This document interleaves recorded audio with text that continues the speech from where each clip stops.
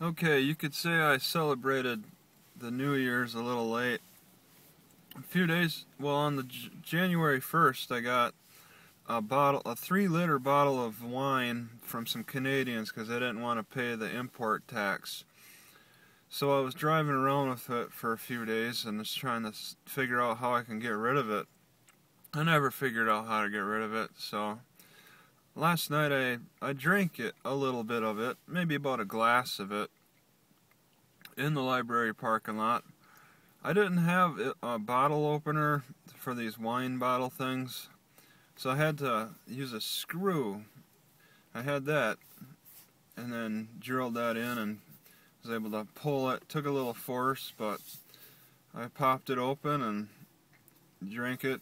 It felt pretty good uh, initially, but man, my reaction time is really slow right now.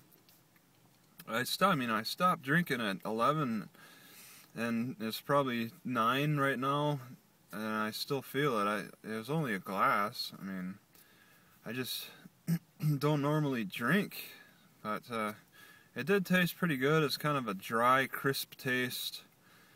Uh, it is easy to drink. It wasn't. It wasn't harsh. It was from 2006, so it's had plenty of time to sit. But yeah, that's that's it. I'm gonna pour out the rest. There's there's not much else I can do with that stuff. All I did was have a little bit of that wine and then watch uh, some videos on uh, the iPad uh, within the Wi-Fi range and just in my car. It didn't really rain a whole lot, and it's only sprinkling now maybe this week of rain won't be so bad. Although I did look at the Eugene, Oregon weather uh, update, and they're getting torrential rain, and it's supposed to be on Friday and Saturday a collection of five to six inches of rain. So there's warnings of pooling of water and floods and stuff. But it doesn't say that it's.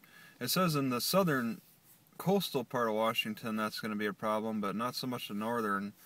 I'm sure that kind of activity occurs up here too. Um, just looking forward to it. I got a new method for wiping all the moisture off. I, I found a sponge in my car. I know. I, I, I recall keeping it in here. I just I just uh, lost track of it, but I can really wring it out. It's a lot of moisture, enough moisture to wring out my sponge. Um, yesterday I spent a lot of time studying this bird dogging for real estate. They're they're giving a training course, which I think sh should almost give you a certificate. It's it's an unbelievable amount. I've been making notes and putting it on a, my blog.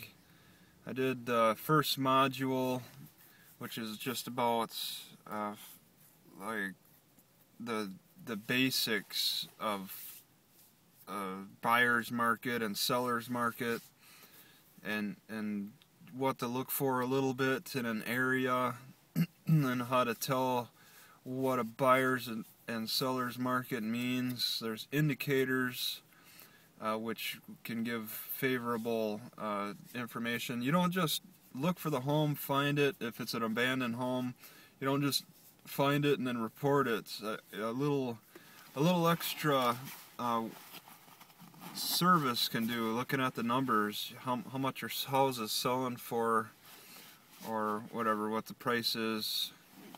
Finding abandoned homes in the wrong areas may not be profitable. The investors seem to want specifics, and I typed in real estate bird dog in YouTube, and there's quite a bit of information in there which is interesting. Is this falling down?